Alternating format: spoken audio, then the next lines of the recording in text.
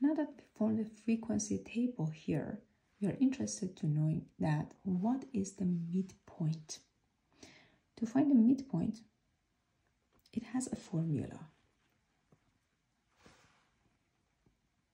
Midpoint. You're going to take the lower limit of that class, add it to upper limit of that class, and divide by 2. So to find the midpoint